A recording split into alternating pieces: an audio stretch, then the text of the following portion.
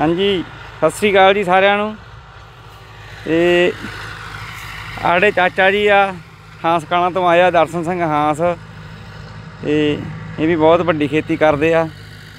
ਇਹਨਾਂ ਨੇ ਪਲਾਵਾਂ ਦੀ ਅੱਜ ਟਰਾਈ ਲੈਣੀ ਸੀ। ਇਹਨਾਂ ਨੂੰ ਇਹ ਕਹਿੰਦੇ, ਪਲਾਓ ਚਲਾ ਕੇ ਦਿਖਾਓ ਸਾਨੂੰ। ਤੇ ਆਹ ਲਸਮਣ ਸਿੰਘ ਹਾਂਸ ਆ ਜੀ ਨਾਲ ਇਹਨਾਂ ਦੇ। ਤੇ ਆਹ ਦਲਜੀਤ ਭਦੇਰ। ਹੈ।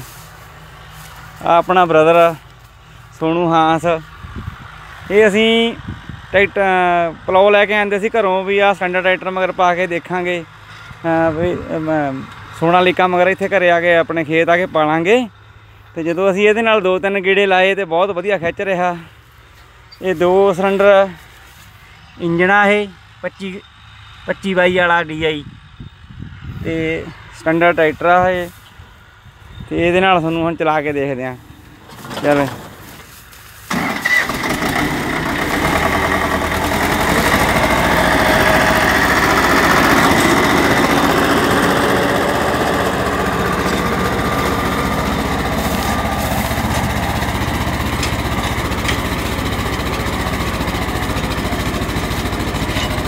ਦੇਖੋ ਜੀ। ਪੂਰੀ ਨਾਲੇ ਪੱਕੀ ਜ਼ਮੀਨ ਆ। ਇਹ ਦੋ ਸਿਲੰਡਰ ਟਰੈਕਟਰ ਲੈਮਕਨ ਦੇ ਪਲਾਓ ਆ। ਇਹਨਾਂ ਨੂੰ ਜਿਹੜੀ ਆਹ ਪੱਤੀ ਲਵਾਈ ਹੋਈ ਹੈ ਨਾ, ਇੱਕ ਸ- ਆਹ ਵਾਲੀ ਪੱਤੀ, ਇਹ ਪਰਾਲੀ ਨੂੰ ਪਹਿਲਾਂ ਵੱਢ ਕੇ ਸੱਟ ਦਿੰਦੀ ਆ। ਇਹ ਪਰਾਲੀ ਉੱਤੇ ਨਹੀਂ ਆਉਣ ਦਿੰਦੀ। ਹੈ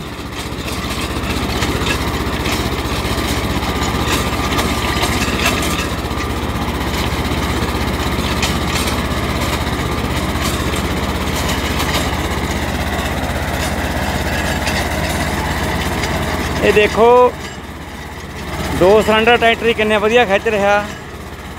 ਜੇ ਕੋਈ 2-4 ਕਿੱਲੇ ਵਾਲੇ ਨੇ ਕਿਰਾਏ ਤੇ ਲਿਆ ਕੇ ਜਾਂ ਸੋਸਾਇਟੀ ਤੋਂ ਲਿਆ ਕੇ ਵੀ ਇਹ ਬੰਦਾ ਮਾਰ ਸਕਦਾ। ਇੱਕ ਸਿਰਫ ਹੌਸਲਾ ਚਾਹੀਦਾ ਵਾ ਤੇ ਕੰਮ ਤਾਂ ਕੋਈ ਵੀ ਜ਼ਿਮੀਂਦਾਰ ਦੇ ਮੂਹਰੇ ਆੜ ਨਹੀਂ ਸਕਦਾ। ਹਾਂਜੀ, ਧੰਨਵਾਦ।